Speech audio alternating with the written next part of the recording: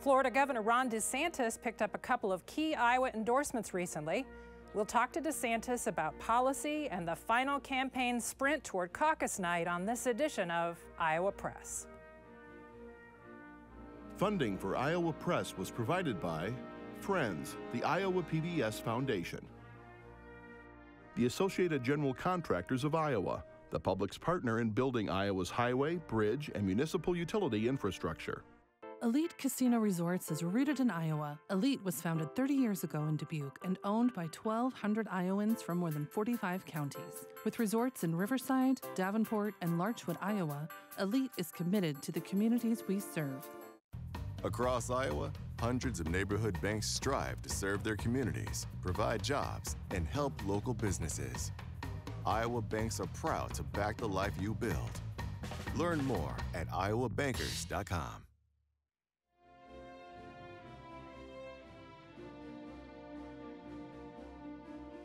For decades, Iowa Press has brought you political leaders and newsmakers from across Iowa and beyond, celebrating 50 years of broadcast excellence on statewide Iowa PBS. This is the Friday, December 8th edition of Iowa Press. Here is Kay Henderson. Our guest today is a candidate for the Republican Party's next presidential nomination. He is a Florida native. He is an Navy veteran. He is a former member of the U.S. House of Representatives, and he is the current governor of the state of Florida. Ron DeSantis, welcome to Iowa Press. Thanks for having me. Joining our conversation are Tom Beaumont of the Associated Press and Clay Masters of Iowa Public Radio. Governor, this is such an unprecedented race for the Iowa caucuses, and one of the big things making news in the last month was the endorsement that you received from Iowa's sitting governor, Kim Reynolds. It's been almost 30 years since the last time a sitting governor was uh, endorsing ahead of a, a, caucus cycle or ahead of the caucuses. I was uh, at an event for Donald Trump over the weekend where when Trump brought her up, he, she was booed by the people that were at that crowd. What does that say about her endorsement for you? Well, look, I mean, I think Donald Trump has attacked her even before this endorsement, and, and that's, that's not the way we go as Republicans. She has been an effective, strong governor that's produced great results. As a Republican, I want everybody to do well. It's not just about who endorses me or who doesn't. There are people in this race that haven't endorsed me. I'm not going to go out and trash good Republicans just because they haven't endorsed me. So I think the way that Donald Trump has handled that, that, that is not going to work for this party uh, to say that unless you kiss his ring, then somehow you're not good. She's done a great job. If you look at all the governors in the country that Republicans can point to, uh, I think she would be one of the top in terms of actually producing strong results for the people that she represents. Governor, yet Donald Trump is the favorite in Iowa, and you have said that you absolutely expect to win the Iowa caucuses. So, apart from his age and that he would be term limited, tell me how you would convince Trump supporters in Iowa to change their mind between now and January 15th. Well, a couple things. One, uh, uh, you know, I'm more likely to win the election. You saw what I did in Florida, won a monumental victory. Now, Donald Trump won Florida, but by just a few points. We've got to be able to win voters who have not been willing to vote for Trump in the past, and I've shown an ability to do that, uh, and I think that uh, we'd be able to do that nationally. Um, also, in terms of the, the results, uh, I'm somebody that has fought the good fight on behalf of conservative voters, uh, and not all Republicans do that, of course. Some of them cave. I've said it, but I've won these big fights. Yes, election, but we've delivered results. If you look at all the problems that our voters are uh, identifying, all the people responsible for that, when they tried to do things in Florida, we beat them. You know, we beat the teachers union and getting school choice. Uh, we beat George Soros by removing two of these radical prosecutors. We beat Fauci on COVID. Uh, you know, we beat the Dems on election integrity. So I have a record of delivering results that is second to none. And then you look at the economy, a big issue with, with everybody, obviously. Florida's economy is the best in the nation, according to CNBC. We had to take take uh, steps, and sometimes in opposition to the Trump administration during COVID, uh, to make sure our state was open. We have low taxes. We've paid down debt. Uh, we have our unemployment rate 60% lower than California. So in terms of getting the economy back. Florida's been the model of how to do in face of some significant headwinds. Um, I also think the fact that um, I'm a veteran, I've served, I'll be the first uh, veteran elected who served in a foreign war since 1988. Uh, veterans know right now, particularly in Iowa, that have come up to me, oh, we need to get the military back in shape. Uh, I had someone tell me, you know, my, my son's a, a pilot right now, and he's just like, you know, I wish I could get some more hours in the cockpit instead of doing all this DE and I and all this stuff that's more political. I'm getting rid of that in the military. We're going to get rid of the political agenda, and we're going to focus on, on mission first. And then I just think it's important to point out Donald Trump's campaign, if you look at what he talks about, he talks about the border wall. He talks about draining the swamp. He talks about uh, holding uh, Biden accountable. He talks about uh, uh reducing the debt. He ran on all of those things in 2016. Uh, and yet we're still talking about it. We don't have time to just do slogans. We've got to get the job done. We're not talking about a uh, President Huckabee or a President Santorum or a President Ted Cruz. These are the winners of the last three Republican Iowa caucuses. What's the value in even winning Iowa anymore? Well, look, I, I, think there's a lot of value. I mean, this this is, as you've mentioned, it's kind of an unprecedented thing because you have somebody running who had been president before, who is probably the most famous person in America uh, there, and he's in the mix. And so I think the media nationally has tried to create a narrative that somehow the voters, you know, shouldn't even be consulted in this, that you can take some polls nationally and then all of a sudden everyone should just go home. I mean, they are actually saying that. And I think Iowans are like, no, we, pay an import, play an important role in this process. Um, and even if you take some of the polling at face value, you have a clear majority of people here in Iowa that are choosing someone other uh, than Donald Trump. And I kind of think to myself, if Ronald Reagan were running for a third time, he'd be getting 90% of Republicans. So there is an appetite uh, to have a, somebody that, that, that, that, can go um, uh, be a different standard bearer. Uh, but I, have I've often said some people have won Iowa, of course, and have won, like W. Bush. Others have not. Um, you got to win a majority of the delegates. But I think the way this sets up uh, this year, I think Iowa is playing a more important role than in those previous years. Governor, I want to ask you about the abortion issue in the context of people who have endorsed you. Governor Reynolds obviously signed a six week abortion ban in Iowa twice. Uh, Amy Sinclair, a state senator who's been a guest on this program, has endorsed you. She ran the bill in the Iowa Senate. And there have been key people who've been involved in the development of that law that have endorsed you as well. Will you as president fulfill their expectations in terms of how you would achieve the goal on the national stage in terms of abortion? So one, I think that uh, you know Iowa has uh, said Iowa leaders have said they're pro-life and they've delivered pro-life protections. And I know there's been a lot of back and forth through the courts and everything, but but they have followed through on their promises. In Florida, we've delivered pro-life protections, particularly when you have uh, uh the baby has a heartbeat, uh, and we're proud of doing that. Uh, but I think we all recognize that Iowa, Florida. Uh, probably going to be different than what New Hampshire does, probably going to be different uh, than, than what Michigan does. And so a lot of this is Dobbs came down, and it was almost like the pro life movement. It was kind of like the dog that caught the car. There wasn't a lot of um, uh, recognition about what's the next step. And I think what we've seen is while Iowa's made progress, some other states, there's also been uh, a, a, movement in the other direction, Ohio and some of these other areas. So I think as president, I'll be somebody that will promote a culture of life, uh, but I'm going to help these local and state folks uh, be able to do a better job uh, to deliver uh, the good message. I mean, we know Congress doesn't do anything. the idea that that is where ultimately we're going to be able to, to solve, I, I, think we realize that, that that's, a, that's a long shot.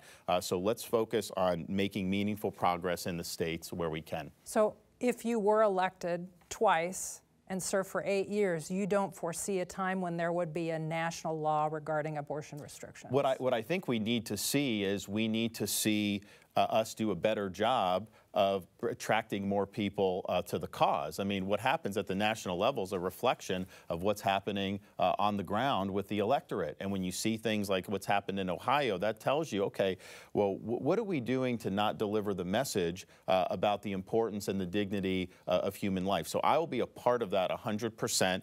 Uh, I think we can move the needle, uh, but we just have to identify right now, since Dobbs has come down, there have been some successes uh, but there have also been some setbacks.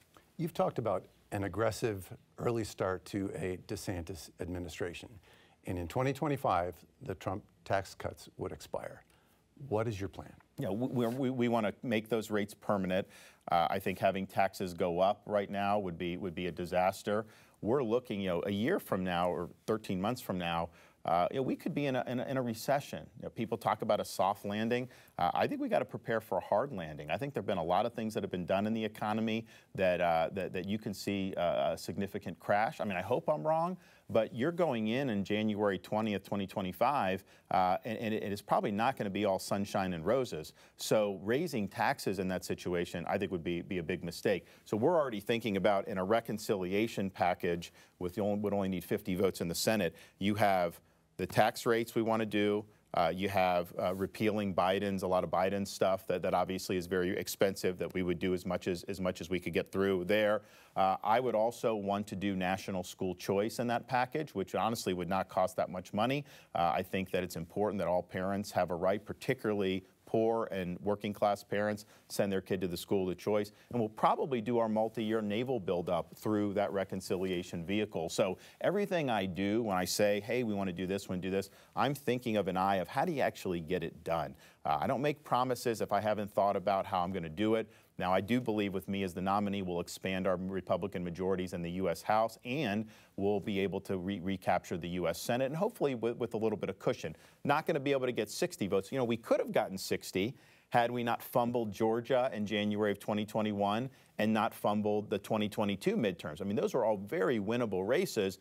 Republicans lost almost all of them, uh, that we would have been in striking distance of 60. We're probably not, but I do think it's a favorable map. I think we're going to have a Senate majority, but that reconciliation package is important. And if you're not thinking as the candidate about how you would use that to be able to implement policy, then you're already behind the curve. Iowans are familiar with uh, the educational savings accounts at the state level. How would national school choice work? Are you giving tax dollars from the federal level to people to send their child to a private school? Not directly. What we would do, we'd modeled after one of the programs we used to have, and well, we still have, but we've now built on it, uh, like a tax credit scholarship program for, for corporate tax income tax. So in Florida, they, we have a state corporate rate, they can check off a certain amount of money to go to this scholarship fund instead of sending it to the government. So it's technically never in the government's possession. So we would do something similar federally. Corporate income tax, they'd be able to check off a certain amount. It would go to these scholarship uh, organizations that then administer the scholarships, and they're in existence and they can bid for that.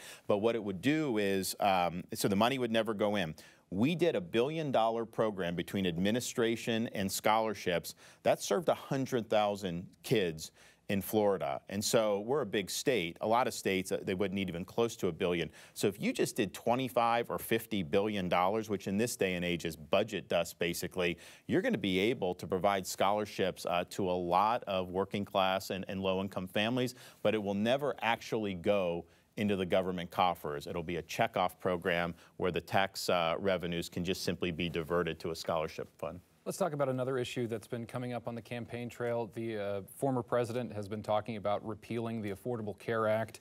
Uh, there are aspects of the Affordable Care Act that have some pretty strong public polls uh, in support of some of those items. Would you be in favor of repealing the Affordable Care Act? So he promised that he would get this done. I mean, that was one of his big promises as president. He had Republican majorities, you know, and didn't get the job done. And so I think that uh, what, what the pathway forward, uh, I'm not sure what Congress would do. I opposed Obamacare. I did support the repeal and replace because I said it wasn't making health care more affordable. The costs have gone up. So we've got to address these costs. Now, in terms of the Obamacare, so in Florida, for example, we, I signed legislation for pre-existing conditions. People act like that's unique for, for Obamacare. It's not. We understand that that's important. That'll be something we're going to do. But we have got to have a reform that is going to lower costs. And part of that is, I think what Obama did, Obamacare did, it really empowered uh, these big insurance companies uh, who really are part of the problem with driving up the costs as well as the pharmaceutical companies and an empowered big government. Those three big entities have created an iron triangle where the patient and the doctor are at the back of the bus. Uh, and it's not about patient-centered care anymore. It's about these massive institutions. So we need to return to patient-centered care. People need to have access to affordable health care. I mean, just getting a card that says you have coverage, if that doesn't entitle you to get quality care, then, then that's not worth what they're saying it's worth. We also want people to have access to good doctors um, and good hospitals, but part of it is looking at this instead of saying, oh, it's going to be just fee for service, is what is the outcomes that you're driving? Ultimately that's what you want to see a system to be able to produce healthier outcomes. That's not the way the incentives are right now, uh, and I think it's skewed it, and I think it's continued to drive costs up. So is there like an unwinding period that would take place, or would it just be a repeal? And I mean, how do you calculate that? Well, what I've said is, you know, what we'll end up doing is, is effectively just superseding Obamacare because Obamacare is one part. There's a lot of problems with the healthcare system writ large. So we'll have a reform uh, that will basically supersede. Obviously, there'll be a uh, it'll be a place where people be transitioned to be able to do what they need to do. Uh, but you, if you're providing more affordable options, uh, people are going to be running to be able to get those options. At an event last week in Newton, you said that Iowa would have first dibs on landing the U.S. Department of Agriculture as part of your push to reduce the federal workforce footprint in Washington, D.C. by half. How would that impact getting a construction permit, um, other things that people depend upon the federal government performing? So, uh, we have a lot of people that move to Florida from, say, New York State. Uh, our budget in Florida, you have millions of more people now than New York. Our budget is half the size of New York State. We have the lowest uh, per capita state employees of anywhere in the country are one of the lowest. And yet, you know what these New Yorkers tell me when they come? You guys have better services. I get my driver's license. You have better roads. You have all this stuff. So some of this stuff is government can perform the key functions uh, with less of a footprint. No question about that, and we know that. But the other reason why we're talking about doing this, because I think what's happened is power is accumulated in D.C.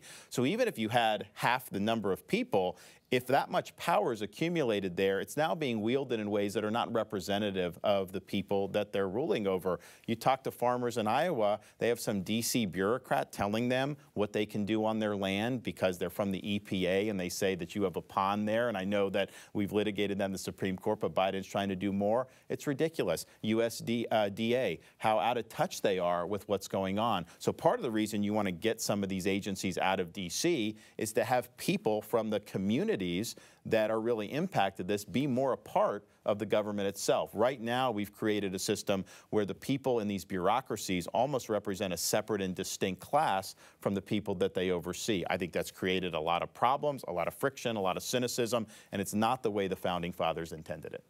Uh, you've said in Cedar Rapids yesterday that you expected to draw a new, next generation, energized uh, workforce in your administration. What confidence should people have given some of the turnover within your own campaign?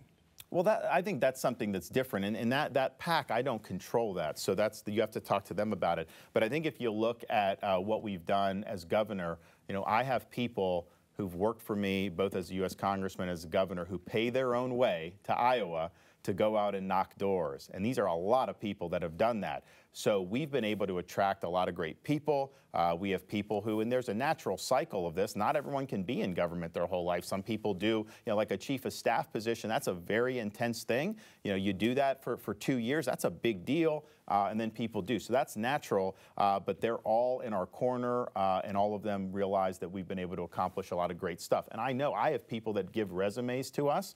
Uh, we have allied conservative groups up there that are really making an effort to collect resumes from around the country there's a lot of people that want to be able to come and serve, and it'll be a temporary thing.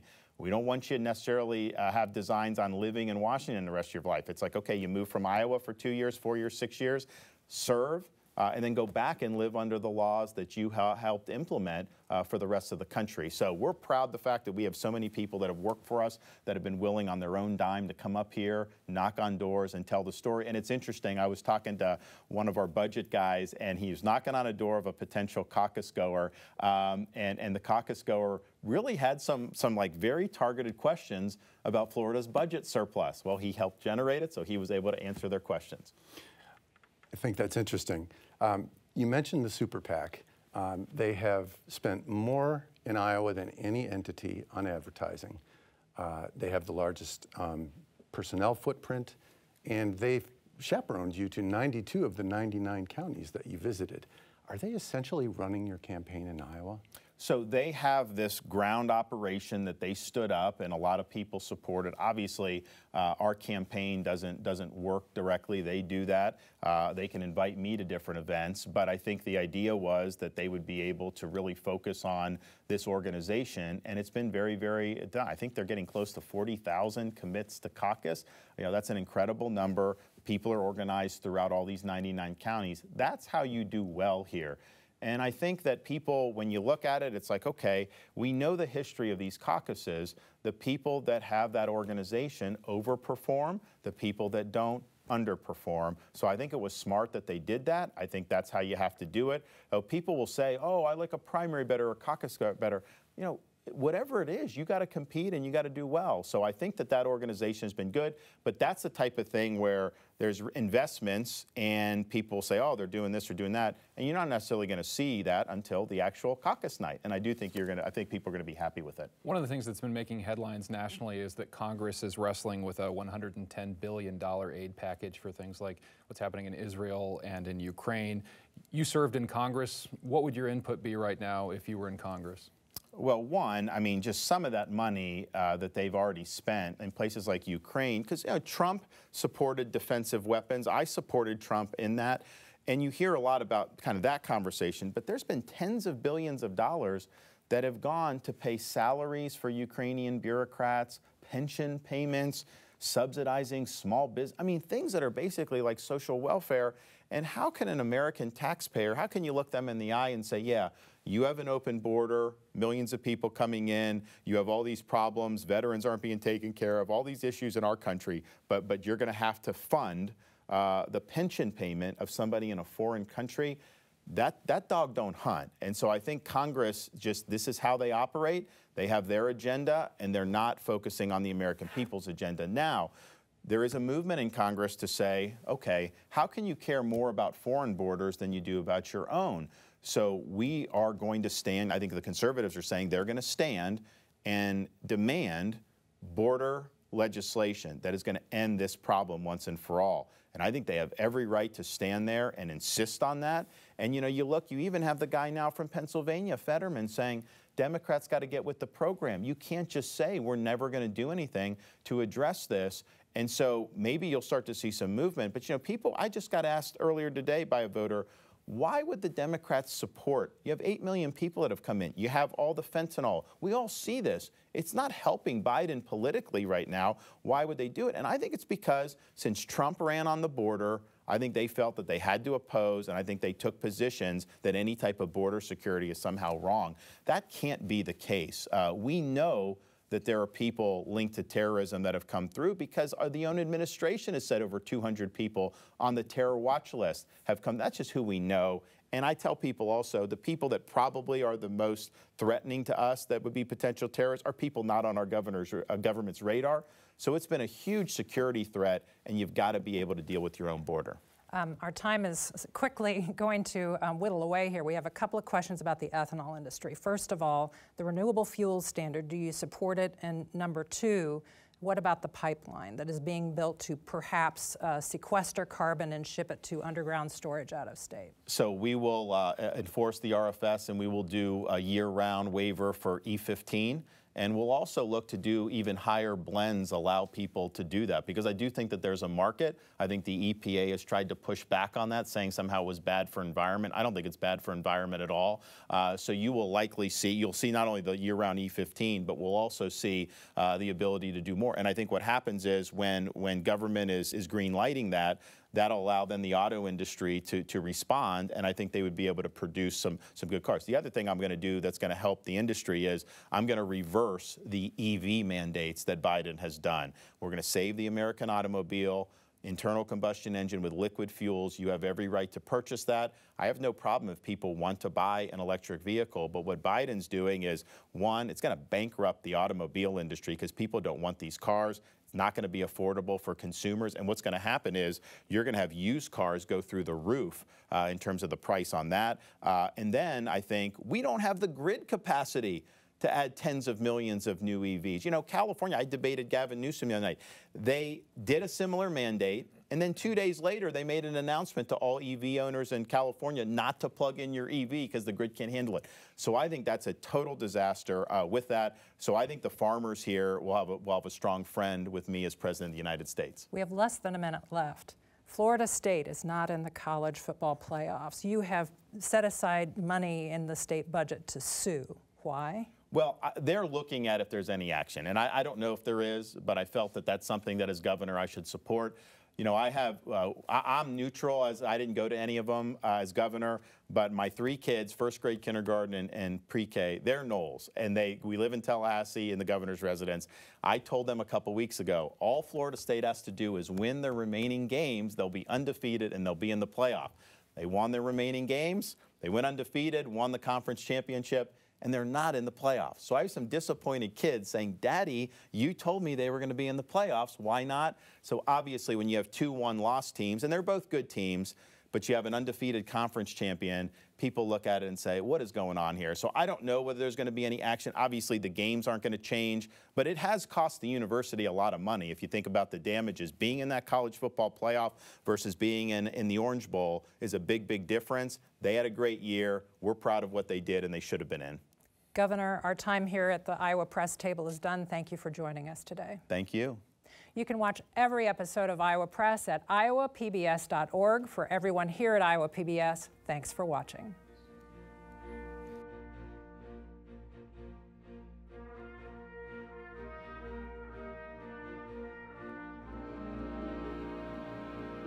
Funding for Iowa Press was provided by Friends, the Iowa PBS Foundation. The Associated General Contractors of Iowa, the public's partner in building Iowa's highway, bridge, and municipal utility infrastructure. Elite Casino Resorts is rooted in Iowa. Elite's 1,600 employees are our company's greatest asset. A family run business, Elite supports volunteerism, encourages promotions from within, and shares profits with our employees. Across Iowa, hundreds of neighborhood banks strive to serve their communities, provide jobs, and help local businesses. Iowa banks are proud to back the life you build. Learn more at iowabankers.com.